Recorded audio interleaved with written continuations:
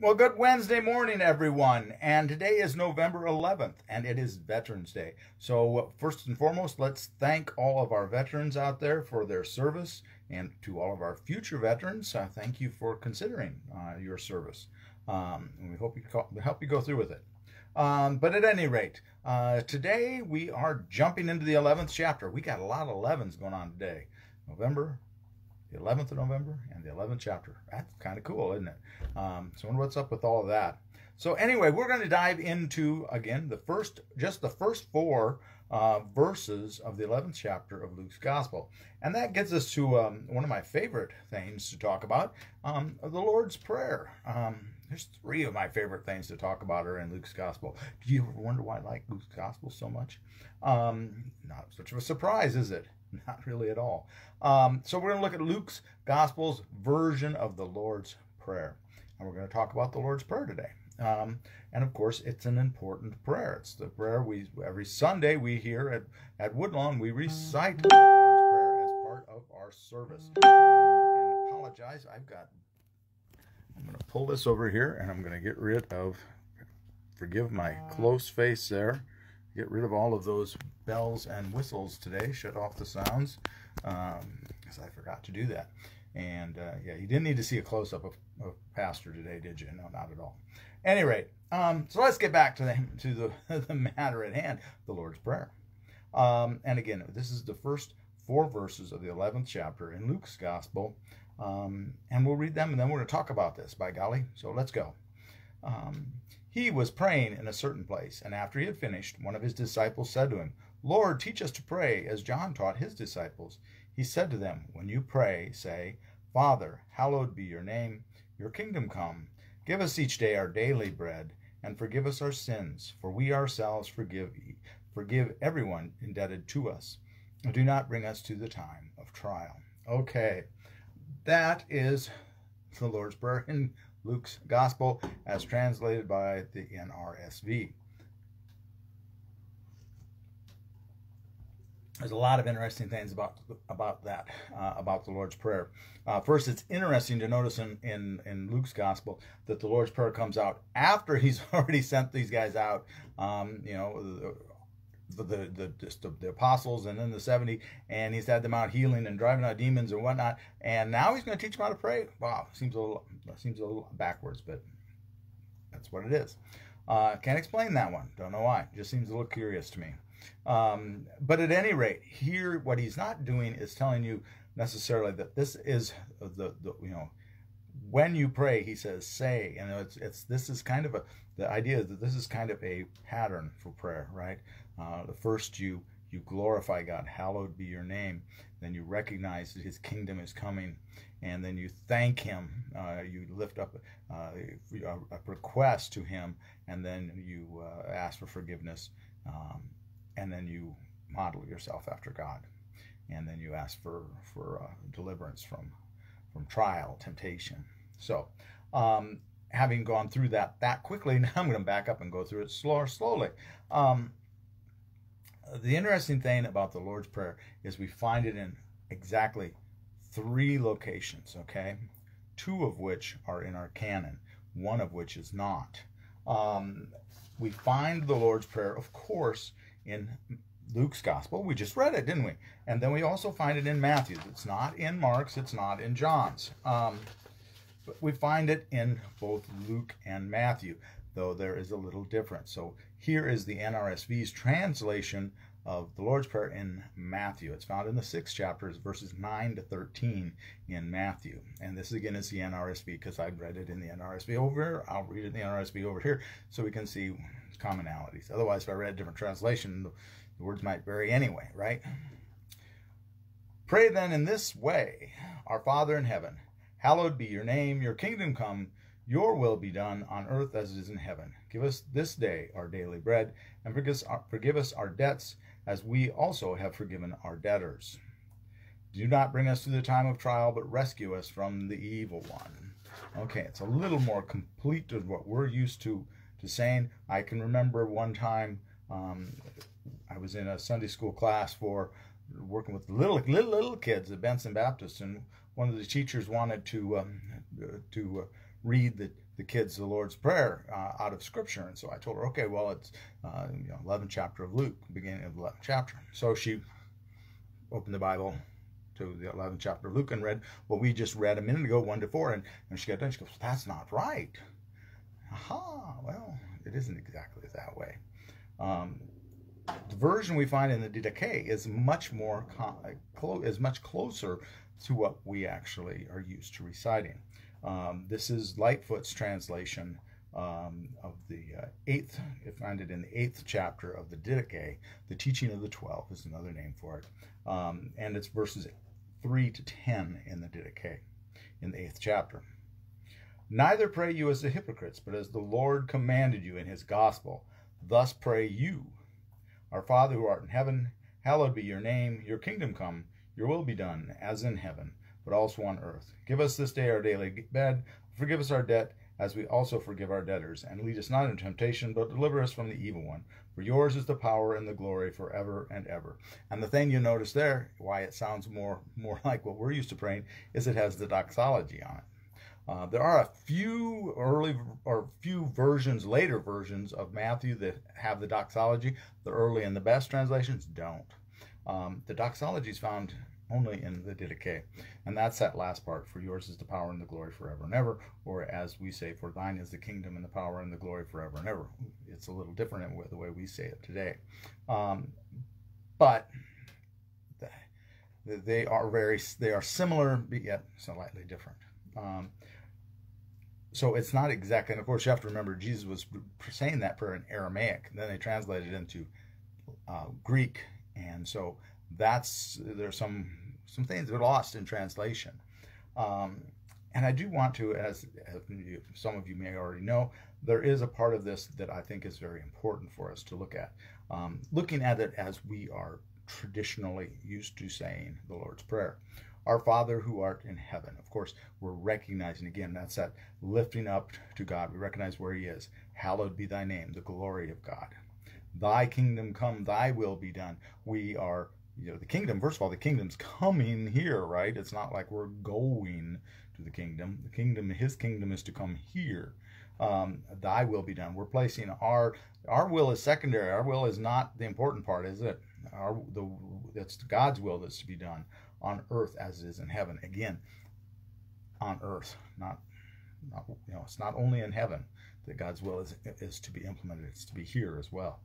Um, give us this day our daily bread. Now, we'll finish, finish us this, then we're going to come back to that daily. Because the really peculiar thing here is so far, those were all very ethereal things, weren't they? Those were big things. And then we zip down to get me by for today. That's kind of weird. It is kind of weird. Um, and then let's go on. And forgive us our trespasses, our sins, our debts, um, as we forgive those who trespass, sin, or are debtors against us. And lead us not into temptation, but deliver us from evil. For thine is the kingdom and the power and the glory forever and ever. Amen. Now, one of the peculiar things people notice always is that you have sins, trespasses, and debts. I grew up traditionally saying trespasses, and I, and I kind of actually like trespasses best here at Woodlawn, and I believe that at, at the uh, First Baptist, it was sins that they that they did, um, and we use sins here. Um, I don't think there's a big big issue with any of the three. I don't think you're you know, there's no there is no big issue with any of the three. Go ahead and use whichever version you prefer, which way you learned it. Um, same theological influence there. It's those that have that have that have harmed us, and we're forgiving them, and we want you to, God to forgive us for the harm we've done to God. Okay. Um, but do not lead us into temptation, or sorry, and lead us not into temptation, but deliver us from evil. And again, that's deliver us from evil. And the one thing we want to be careful that God does not lead us into temptation. That's that actually is a, not the best translation of that. Um, you know. Um, deliver us from the evil one probably is closer to you know what the Didache has got there. Okay, um, all right, and the NRSV has "Do not bring us to the time of trial." That's probably again a better translation from the Greek um, than than what we traditionally say. But we're used to saying it that way, so it means something to us. So let's we'll go with it. Um, but God does not tempt you. James, uh, the the letter from James tells us that God does not tempt anyone. Um, but deliver us from evil, for thine is the kingdom, and we're recognizing God's kingdom and the power and the glory forever and ever. That's that doxology at the end.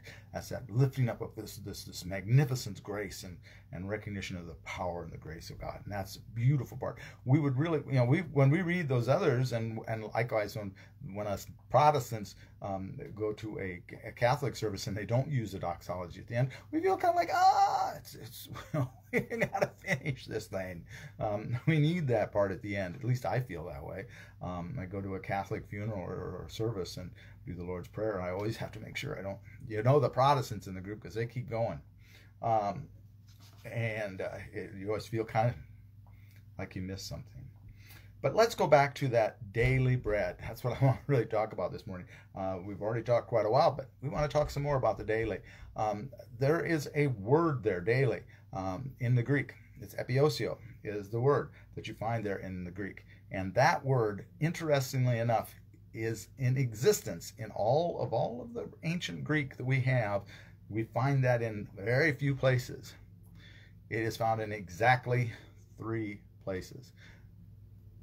Matthew's Gospel, Luke's Gospel, and the Didache, and in the Lord's Prayer. That's the only place in all of Greek that we find that word is in three spots. That's it. Nowhere else. Um, it's an interesting thing. So, whatever Jesus said here in Aramaic was a word that was so magnanimous, so whatever, so different, unique to, to the Greek that they had to come up with a new word. Now, there was close to 20 or so words in Greek that can be used to render the word daily. And I would present to you that it probably is, doesn't mean daily. Um, because they could have used you know, Luke, Matthew, the author of the Didache, whoever he might have been. It may have come from Q, the Lord's Prayer. That's where some people believe that because it's not in Mark's Gospel um, and that it is in Luke and Matthew, that, that the Lord's Prayer was in Q. And that might have actually might have been the uh, perhaps the original source. Maybe the Didache got it from Q also. Um, and maybe that's why we have that same word. Or perhaps it existed in both the Didache and Q. Because the Didache probably is older than the, than the uh, than the Gospels that we have. Uh, and the Didache is a how-to manual. I've told you that before. So it's an interesting word.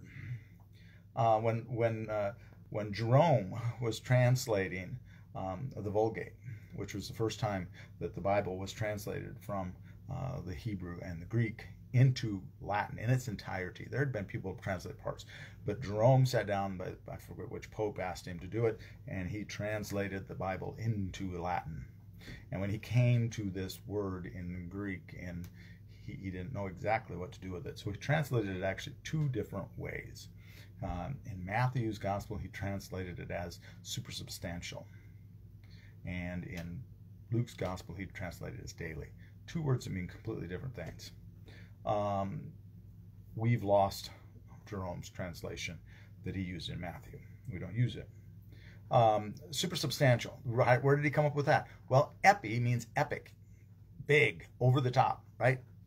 You know, something is an epic, uh, you know, success or epic. Uh, what do I say? Opening. You, know, you maybe use that word for movies and things like it's an epic tale. It's a, it's over the top. It's really big. Okay. Osio means substantial or substance.